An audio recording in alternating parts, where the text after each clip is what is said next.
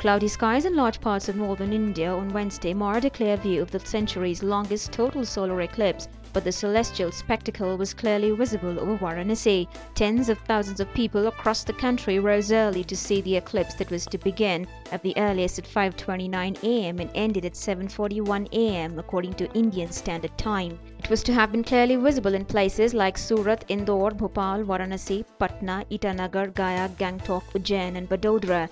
In the event, however, the solar eclipse could be watched clearly only over Varanasi, with thousands gathered along the Ganges. The total phase of the eclipse lasted for about 6 minutes and 44 seconds, making it the longest eclipse of the century. Instablogs leaves you with some spectacular images from this celestial spectacle.